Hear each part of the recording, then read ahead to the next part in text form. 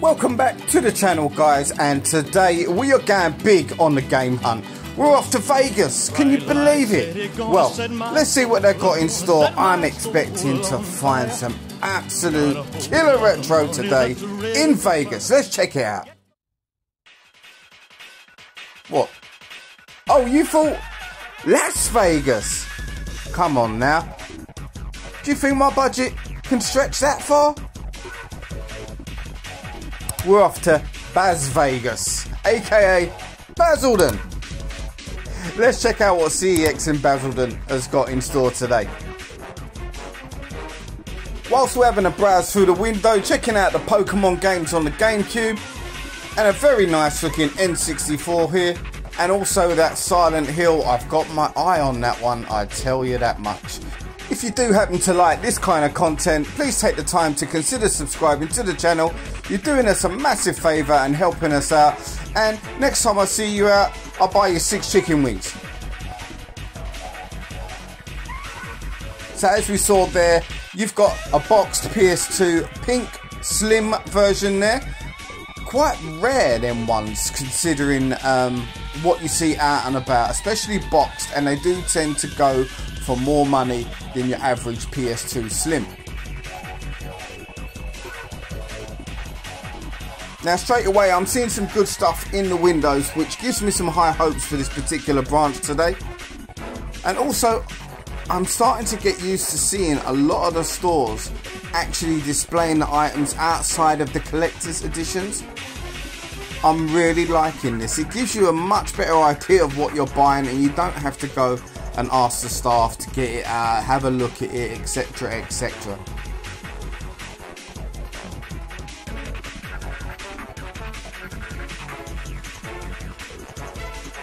Now that Super Nintendo there definitely got some wear and tear on it. That came from a smoking home. Some solid Mega Drive games here, I will say that much. I do enjoy Atomic Runner. I remember playing that one when I was young. £120 on that one right there. I don't believe I've ever actually played that Sozil game to be quite honest with you. Apologies if I'm butchering the name of it as well. We've got a nice solid selection of PS1 games alongside a few Dreamcast games as well. And I like how they've got the Platinum games separate as well. That's always a nice touch when you go into a store.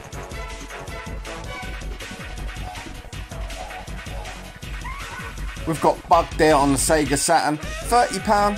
I think that's a little bit overpriced if I'm honest with you. Let me know what you think about that in the comments. Now look at this. This isn't something you see out too often.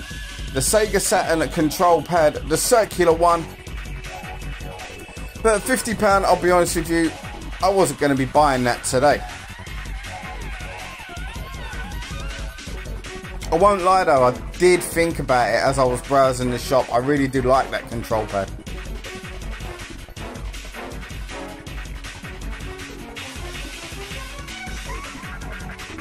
Now so far this is just the beginning of the inside of the shop and combine that with what you saw at the beginning of the video with the stuff that was outside there's some real quality items in this store so far and I've not even touched the surface yet.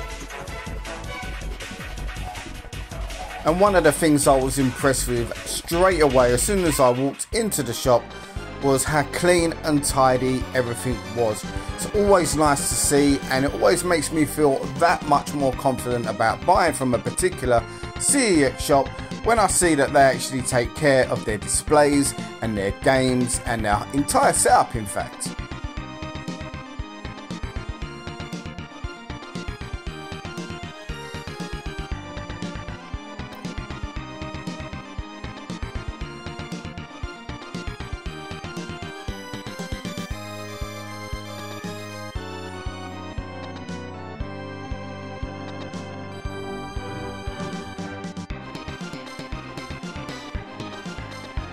Absolutely love both variants of those green Xbox control pads. We do have the electric volt at home, but I wouldn't mind the other variant of the green control pad as well at some point.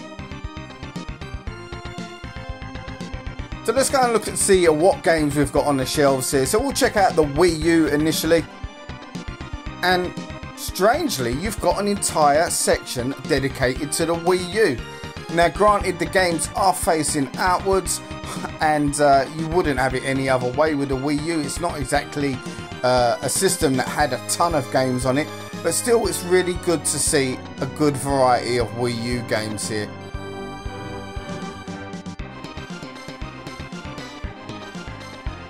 Now my sons really enjoy playing this game on the Switch and I think I need to get it at some point. For £2.50 to have it on the Wii U as well, it seems a bit of a no-brainer.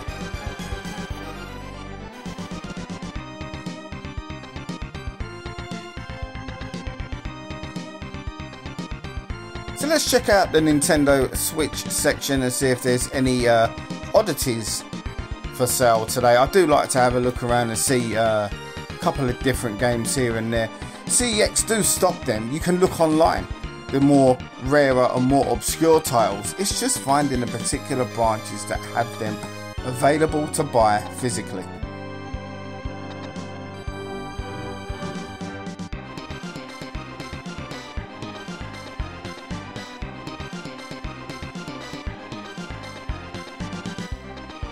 Although so far today we're not finding anything out of the ordinary on the Switch, it's still pretty good to report back that this shop has still got a really good selection of Nintendo Switch stuff. If you want your first party titles and you want your mainstream sort of sellers, they've got you covered.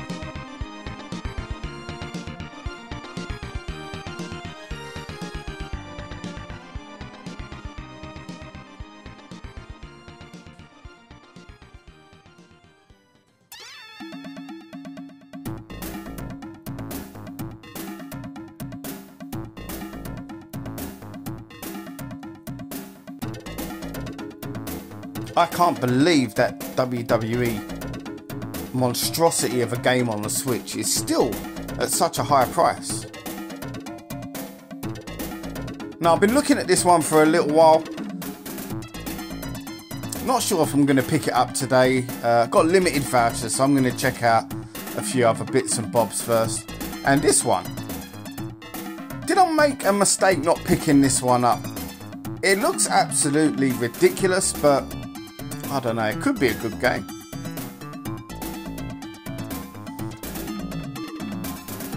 Now, every time I go out, I do think I see a PlayStation 2 game.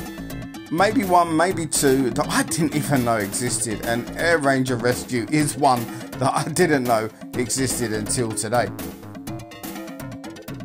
You've got Celebrity Deathmatch there. I remember watching that show um, when it first came out. I think Channel 4 showed it for a little while uh, back in the days when I didn't have Sky TV. Fightbox, absolutely terrible looking game that one.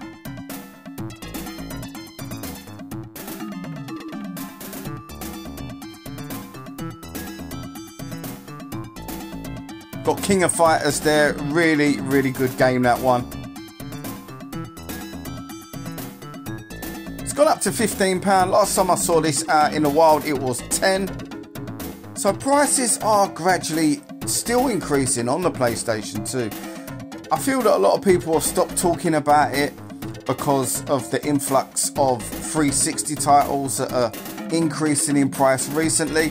It's the system that sort of become in vogue, especially with the Xbox um, 360 store closing down pretty soon. Now look at this Shadow of the Colossus. And it's in really, really good condition. That's not often you see that variant out in the shops. Well, not in that condition anyway. It comes in that sort of cardboard sleeve variant. So I'm going to have a closer look at that one before I leave the shop today.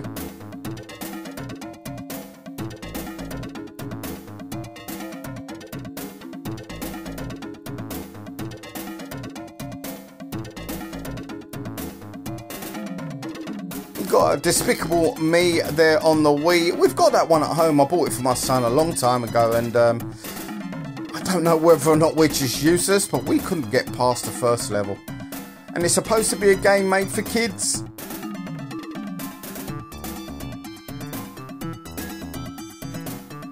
It's a lot of singing games on the Wii, isn't it? Now, what with my previous exploits uh, singing, for those that know, I'm just going to put it out there now. My singing days are over. And with good reason.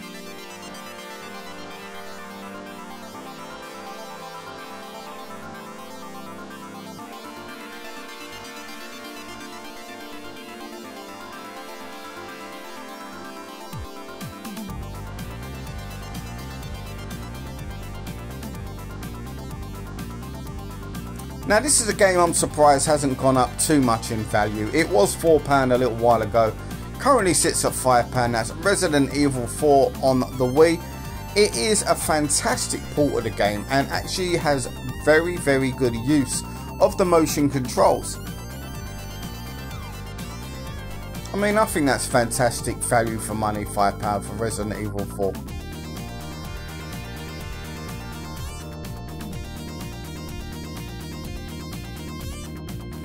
Now this is a really, really nice handheld sort of PC Steam Deck type thing. I've lost track. I'm not going to follow what items and devices come out following the Steam Deck anymore. I know what the Steam Deck looks like.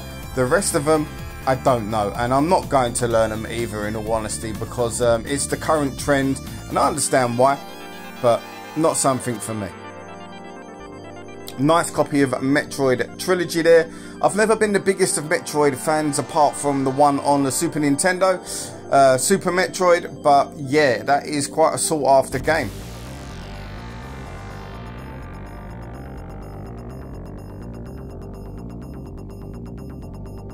Got the Tony Hawk's skateboard there lurking in the background as well.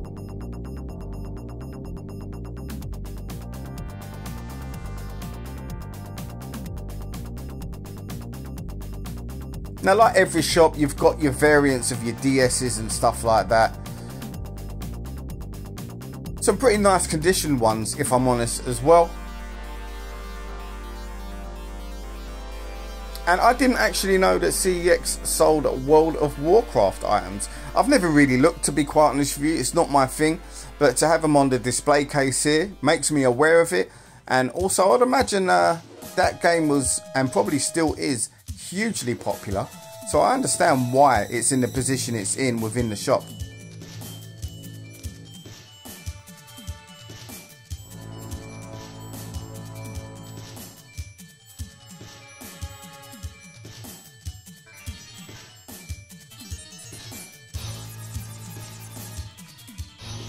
Now the PlayStation 4 controllers, they have really, really held their value, haven't they?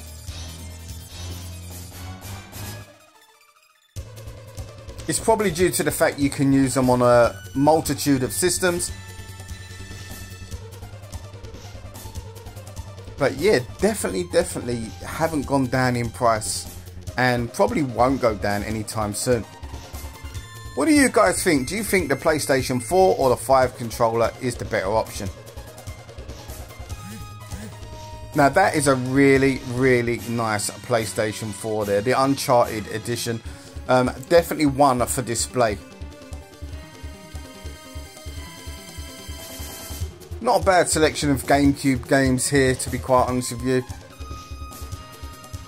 Ikaruga there, not one you see too often either. Unfortunately, it's a cover reprinted edition.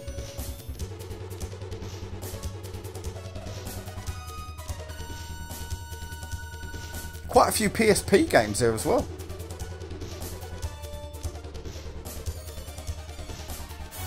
Now, I'm sorry to say, but that's not a bad selection of PS Vita games, in all honesty, considering what you do tend to see out and about these days.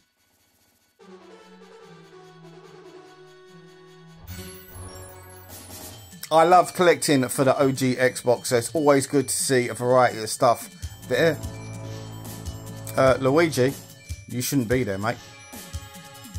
Now look at this one. Big Mutha Truckers 2. I didn't buy it. Honest.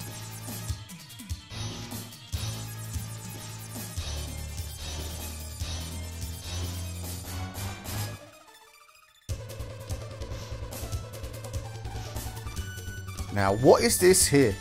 I've never had any interest in this game, but this for £1.50. An absolutely beautiful steel case here and spoiler alert, I'm not putting that one back today.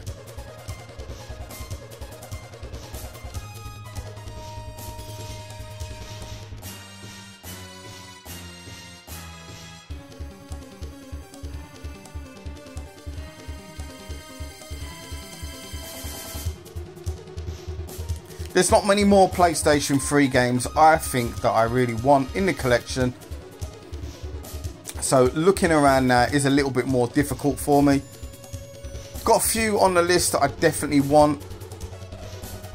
I'm looking for Puppeteer and I'm probably be going to be buying DuckTales at some point as well if I can find it for a reasonable price which probably is going to be impossible.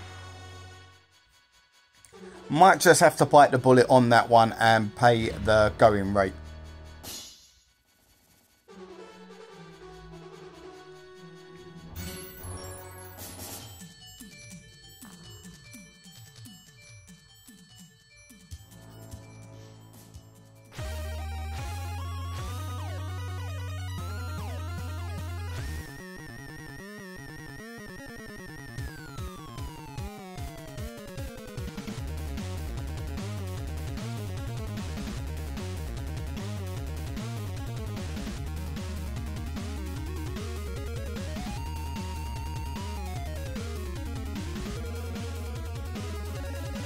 Okay, let's check out the Xbox 360.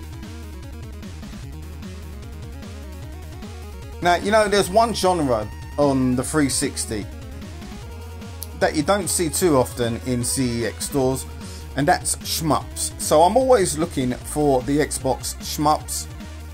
Now, I know they do go for a pretty penny, but with that sort of title, I'm quite happy to pay for the quality and um, yeah, add them to the collection. I just don't see them out that much.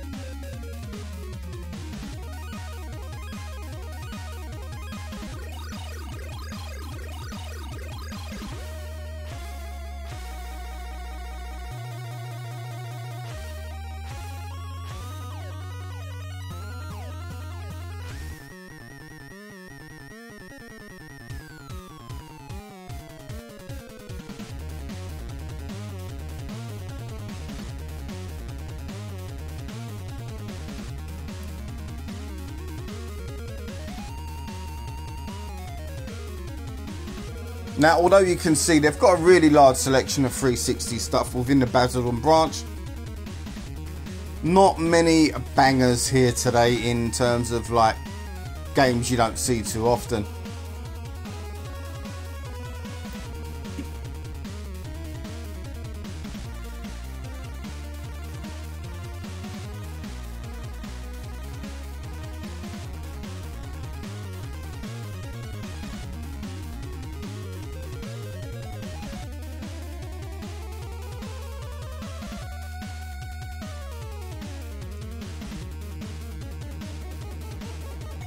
Although Golden Axe Beast Rider isn't one you see too often out and about, I managed to pick that one up off of Vinted a couple of months back and I know it got some pretty average reviews and that's probably been quite generous when the game initially came out and pretty much almost killed off the franchise of Golden Axe.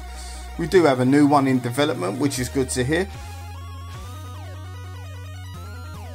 I do wish Sega would give us a few more updates on those games that they announced uh, earlier in 2024.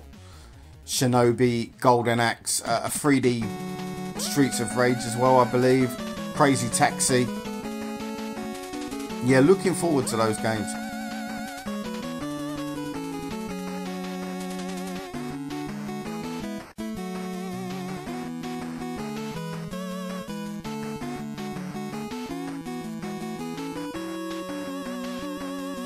Always nice to see a little bit of music tech within a CEX. I don't think they uh, price their stuff that well on that side of things. Always nice to see it though, um, see what kind of items they have in stock. And uh, yeah, I'm kind of uh, a little bit behind in the world of uh, music tech these days. Don't follow it too much like I used to. So it's very interesting for myself to see what stuff goes for in these kind of stores.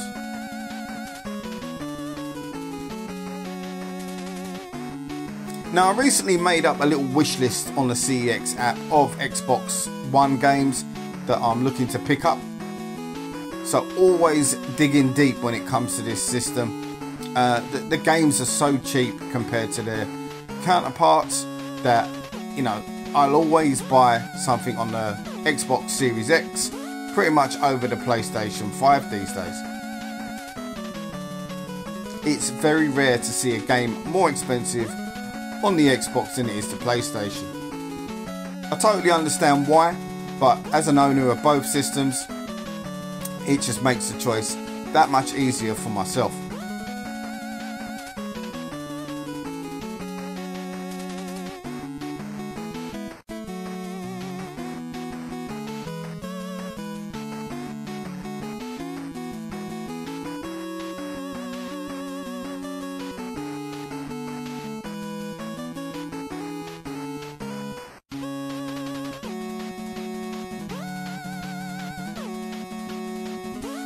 Now look at this. Wasn't that long ago that this game was 50 to 60 pound and this is the collector's edition or one of the collector's editions and it's only 25 pound.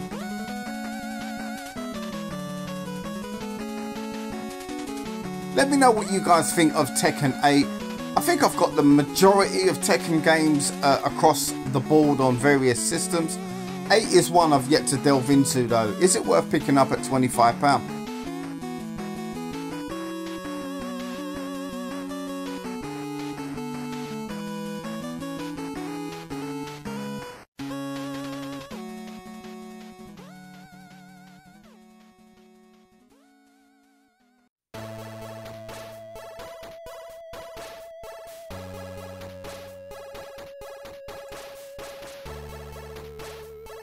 Going to take the time to apologise for the uh, shaky cam at times during this video. It looks like I've just come out from breakfast in a Wetherspoons, doesn't it really? I assure you I hadn't. See? Promise.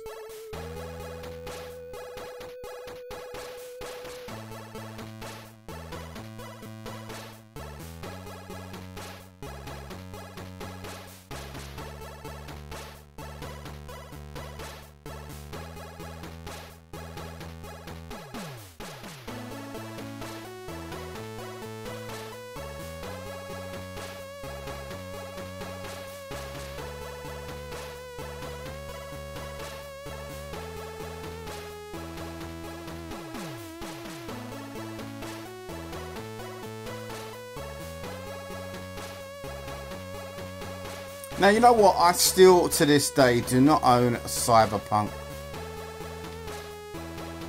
I think I need to add it to the collection at some point. Can you imagine buying Cyberpunk in this day and age and sliding it into your console? How big would that patch be? I don't even know if I'd have the storage to actually uh, update it. I can imagine it'd be huge for a first time patch.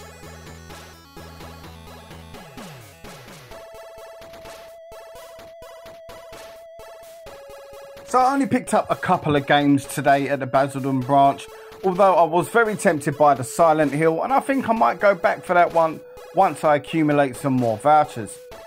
Anyway, like I said earlier, this one I had to pick up. It's an absolutely beautiful steel book. Personally, I don't know a great deal about the game. The previous um, incarnations of the game never really intrigued me that I saw out and about, but I couldn't leave this steelbook behind. Very, very nice indeed. And for £1.50, you can't go wrong. And yes, I had to pick up this Shadow of the Colossus today. It's not often you see one of these out and about in very good condition and at this price of £20 I was not going to say no. I've got it on the PS4, had it previously on the PS2 but that's long gone and in this condition and with everything intact had to purchase today. Anyway guys that was Bas Vegas aka Basildon's branch of CEX. Let me know what you guys thought was there anything there today that you believe that I should have picked up and that I left behind? What do you think of the games that I did pick up? And what do you think of the shop in general? Personally, I think it's a really good branch, some really good stock. Everything was really tidy as well, and the staff were really, really helpful. It makes the experience that much better when you've got staff within your branch that give you the time of day. And for that reason, I'll definitely be coming back down here in the near future. If you did like the video, please consider taking the time to subscribe, share the video, all that good stuff. And I'll see you guys on the next one.